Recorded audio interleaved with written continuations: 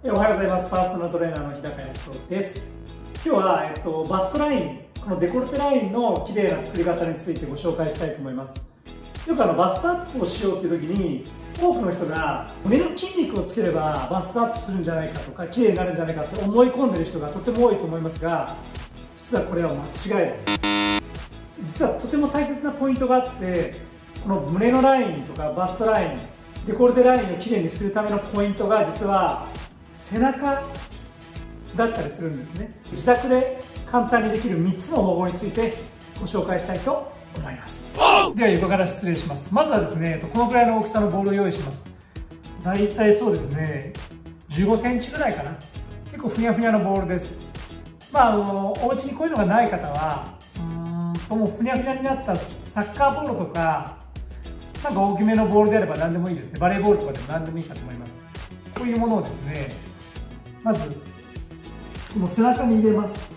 場所はですねちょうど人間の体のみぞおちみぞおちというのはこの肋骨の下を触ってってちょうど当たるところこれはみぞおちです。この真裏にボールを入れます。両膝曲げてもいいし伸ばしてもいいです。両手は横に広げてああ胸が開くなっていう位置で1分ほどキープをします。ストレッチをします。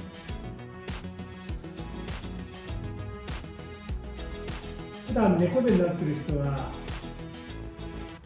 とても気持ちがいい状態になるかと思います。1分ほどストレッチをしてまず胸が開くということを体に教え込ませていきます。これがまず準備運動になります。面白いトレーニングをご紹介したいと思います。まず膝をですね床につけて両手指先が外に向くようにします。ちょっと広めにします。ですね。こっちの肘を曲げてこっちを伸ばします。肩を床につけます。ですね。反対側グーグーグーグー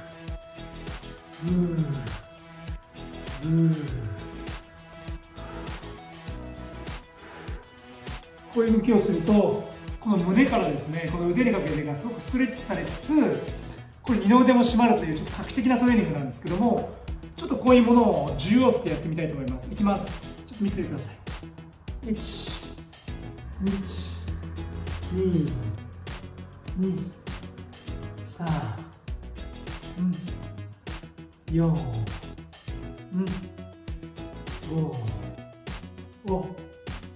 4 5 6 7 8 9 10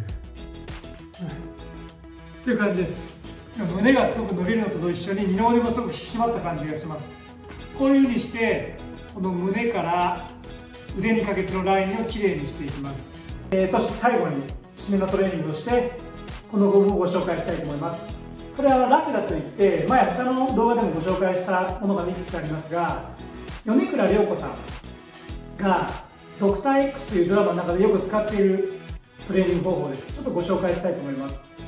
これはですねあの AB 紙4本指にこうやって入れて胸を開きます。体を後ろ側に手をやって胸を開いて肩甲骨を寄せる。寄せる。寄せる。で30回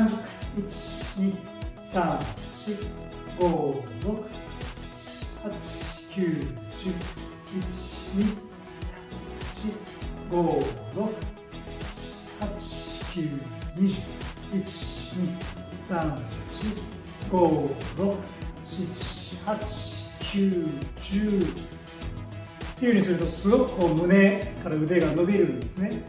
大抵多くの人は胸の筋肉をつけなきゃと思うけどポイントは背中です。胸が開くことです。現代人は大抵の人は肩が前に出てしまって背中が丸まってしまってお仕事をしている状態。この流れの積み重ねがどんどんどんどんバストダウンにつながってきますのでぜひ開いてあげるスリムな筋肉をつけるのであればぜひこのようなトレーニングスリム筋を作ってみてはいかがでしょうか。本日もご視聴いただきましてありがとうございました。